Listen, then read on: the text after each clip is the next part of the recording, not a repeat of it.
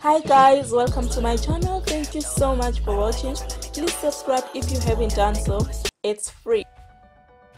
So Uman umampintsha does not want to be out of the spotlight. This time around uh, the Distruction Boys is saying ukuthi umampintsha is not paying them and now they now they are threatening to go to the media.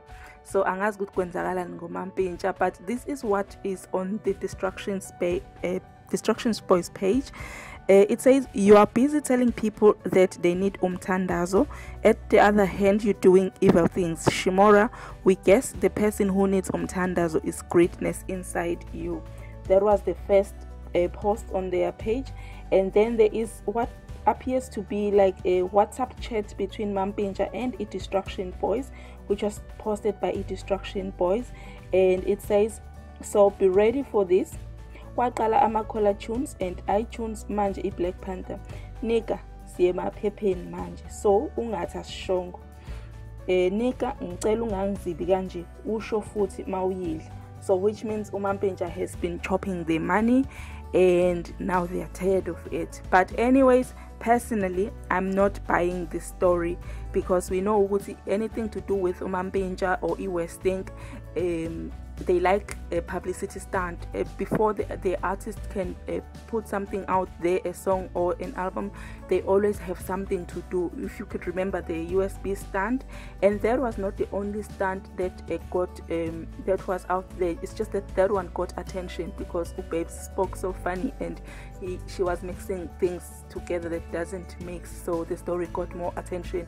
But there was also another stunt that they tried to pull with uKanyi Mbau when they were shooting their I think omunye phezu komunye video and they said that they have missed a due date because uKanyi Mbau appeared uh, darker than what uh, she would like to appear on the video. So they had to redo the whole thing. And unfortunately that one did not get as much attention as the other uh, stunt that they have pulled. So this could be um, another publicity stunt. I'm not buying it completely that they are really not being paid. So i don't know. Uh, but time will tell because then the story is to continue. As as long as they have put it out there people um, would like to know would follow up they would just try to push the issue to see how far it can go.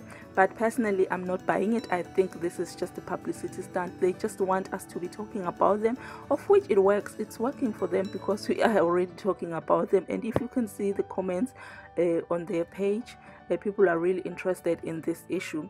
So yeah just let me know what you think. Do you think this is a stunt or do you think that this is a real mampintsha is not paying uh, his artist?